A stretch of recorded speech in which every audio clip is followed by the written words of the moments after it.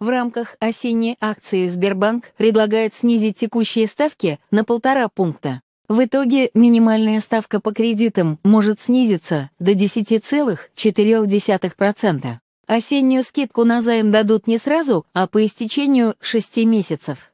Акция распространяется на новые кредиты и продлится до 14 октября текущего года. Получив скидку, клиент не может погасить кредит досрочно или нарушить сроки оплаты по договору.